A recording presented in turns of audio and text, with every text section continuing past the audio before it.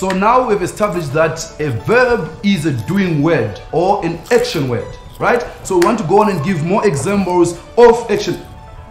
Tashinga. Now we're eating in class, eh? Told you so. Huh? Now you can't even speak. Now go ahead. Give me the packet. hey, hey.